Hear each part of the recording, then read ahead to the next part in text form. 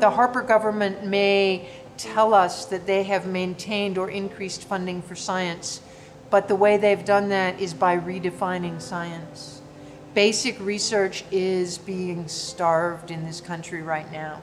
We always need a balance between applied research and basic research. The applied end is where we are seeing the innovation.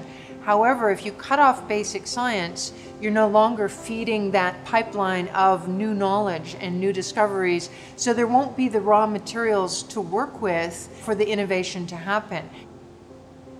I'm really grieving leaving science. It has been several decades that I've had this driving passion to understand the molecular machines that make life work.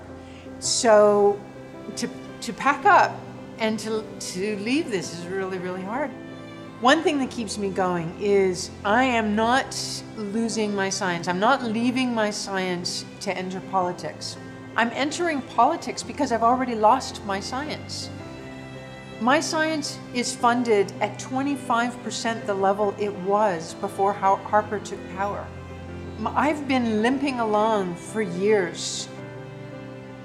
And by not keeping labs like mine alive, we're not training the next generation of scientists.